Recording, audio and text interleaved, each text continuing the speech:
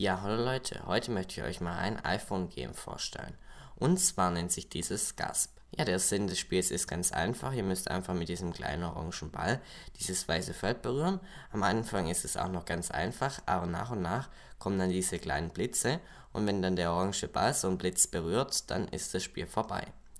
Ja, von der Bedienung her ist es ganz einfach. Wenn ihr euer iPhone bewegt, steuert ihr den orangen Ball und wenn ihr dann so einen Blitz berührt habt, dann habt ihr hier mehrere Möglichkeiten. Einmal das Spiel nochmal versuchen oder den Score absenden.